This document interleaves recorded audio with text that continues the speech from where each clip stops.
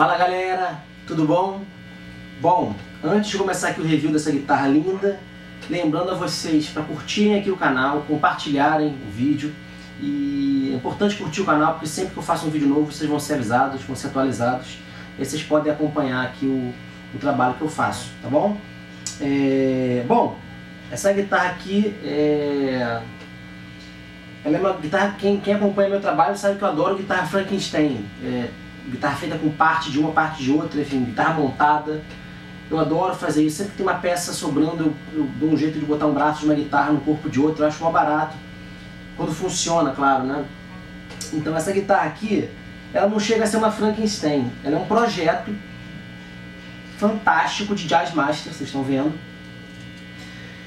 Ela é um corpo de Giannini Supersonic, né? É, pintado de vermelho no tom Fiesta Red, com esse escudo Fender original, dois captadores Cabreira, é, com cover creme né, da, da Fender, ponte Gotó japonesa, assim como as tarraxas também são japonesas Gotó, é, e o tremolo original também da Janine, que ficou aqui na guitarra.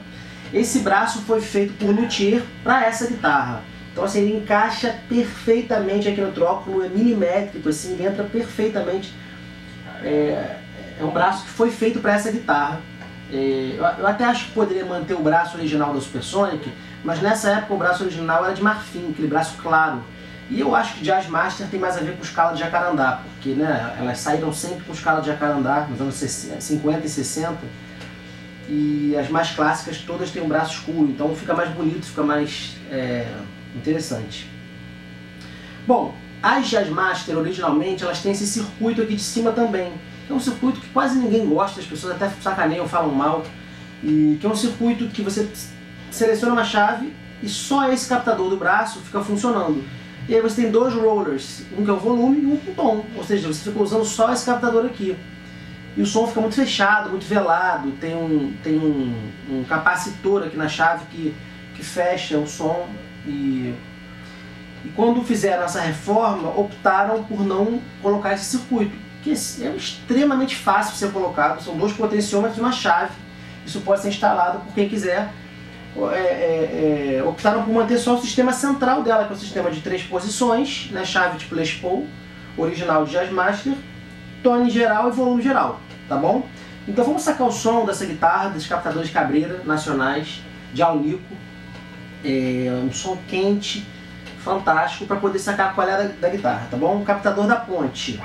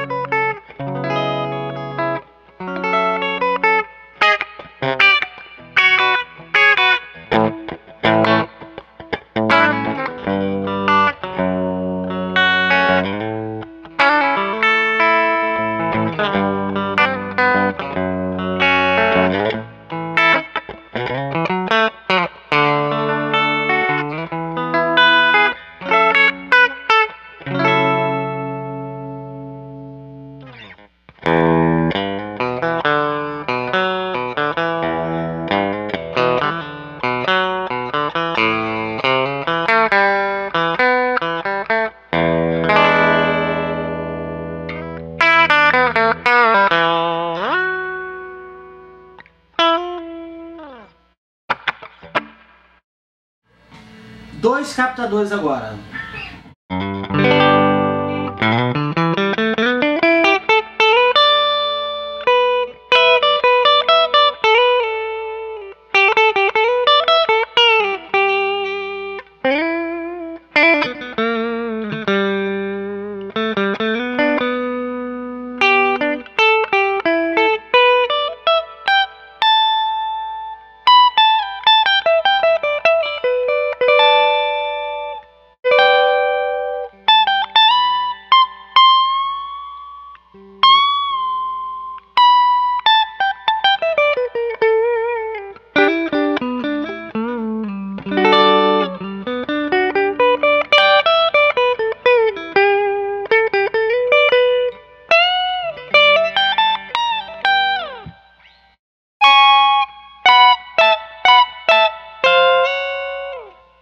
Vocês podem ver que o braço tá assim, impecável.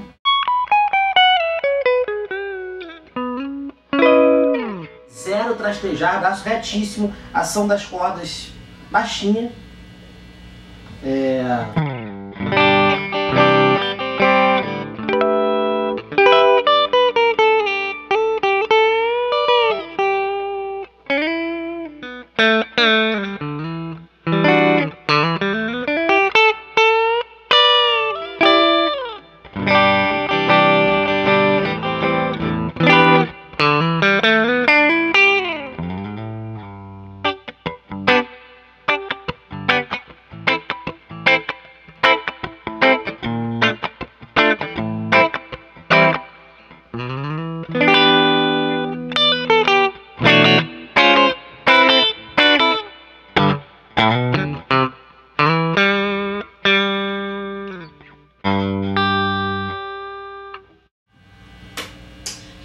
captador do braço.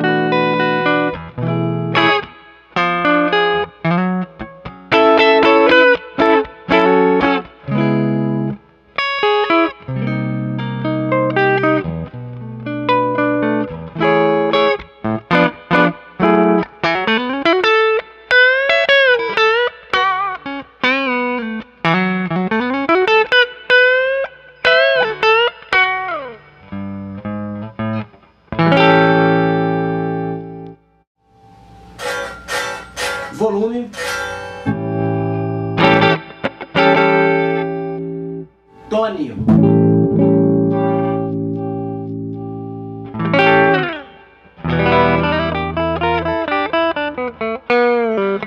Vale até botar um drivezinho aqui.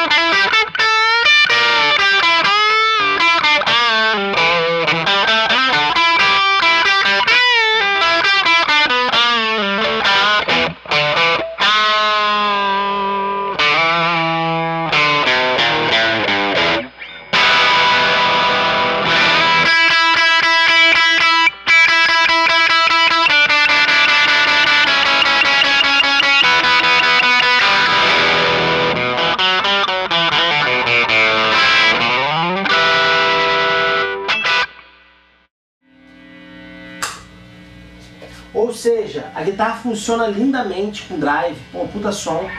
Nem mostrei aqui a parte de trás dela. A pintura tá super conservada, tem um leve risquinho aqui atrás, mas de resto tá nova.